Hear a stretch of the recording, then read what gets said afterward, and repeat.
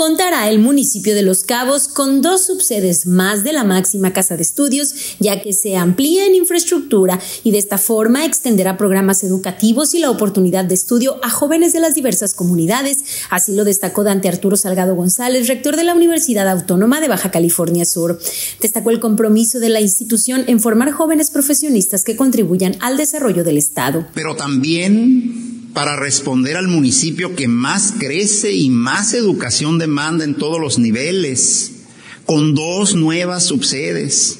La de los portales en Cabo San Lucas con un avance, como se vio, de más del 70% y que se suma a la ya existente en esa misma ciudad. Y la de la Ribera, que se construirá este mismo año y que atenderá también a jóvenes de Miraflores y Santiago. A esto hay que sumar la primera fase ya concluida de la nueva posta zootécnica en San Pedro y que ofrecerá instalaciones más modernas y con un mejor manejo de residuos.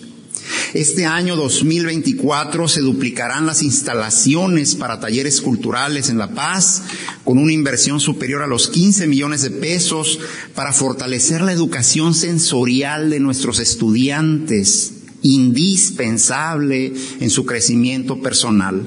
Dijo que el compromiso también es con la sociedad, con los padres y madres de familia, así como el poder ampliar la oferta académica y llevarla a lo largo y ancho de la entidad.